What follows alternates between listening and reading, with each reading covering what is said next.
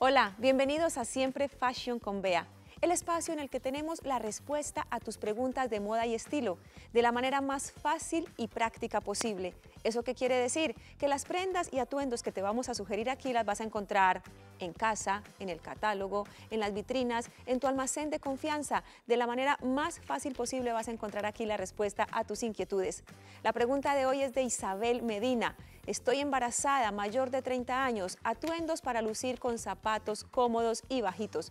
Pues querida Isabel, la respuesta va a ser más sencilla de lo que te imaginas, porque vamos a pensar en muchas piezas que tú tengas en tu ropero y las puedas usar durante tu estado de buena esperanza. Y segundo, vamos a pensar también en piezas que vas a usar durante el embarazo, pero que van a ser útiles después de, para que no sean prendas que solo se usen durante nueve meses y ya.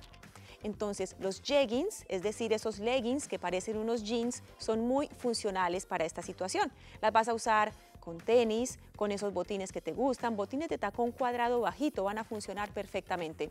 Con una camiseta básica, pero que tenga buena elongación, buen elastano en su composición textil para que vaya creciendo, entre comillas, con tu barriguita y lo puedas combinar muy bien con un kimono, con una prenda más amplia.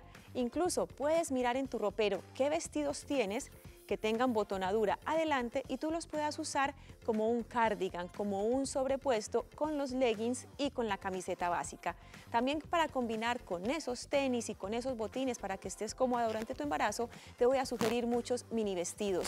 Te dan un aire deportivo, fresco, casual y digamos que de alguna manera aligeran la actitud durante tu embarazo. Y en los mini vestidos puedes buscar los estampados que sean más cercanos a tu estilo.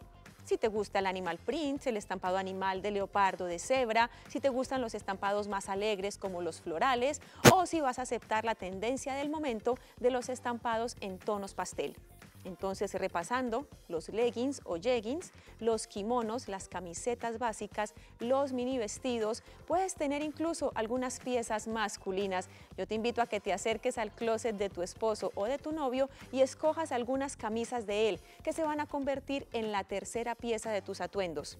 Un pantalón, una camiseta y encima esa camisa de él puede ser la leñadora, una camisa de cuadros, la camisa de denim o qué tal una camisa blanca anudada justo debajo de tu pancita. Y en materia de tendencias, querida Isabel, te puedo asegurar que te vas a ver en apuros para escoger tus zapatillas deportivas favoritas.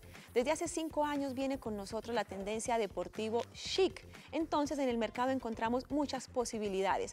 Los de hoy son los tenis chunky de suela sobredimensionada o si se quiere ugly shoes, también se les puede decir zapatos feos, porque esa suela sobredimensionada es una cuestión estética que inmediatamente nos sobresalta un poquito, pues vas a usarlos con maxi vestidos, con maxi faldas y con camisetas y yo te aseguro que te vas a ver muy bien vestida. Más allá de la edad o de tu estado, la idea es que cultives también tu estilo durante los nueve meses del embarazo.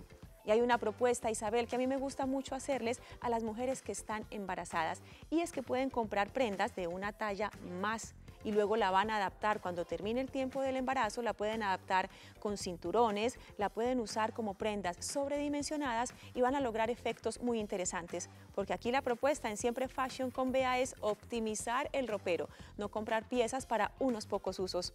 Querida Isabel, felicidades por tu estado. Y recuerden que estar siempre fashion es optimizar todas las prendas que tenemos en el ropero y no guardar prendas por si acaso. Hasta pronto.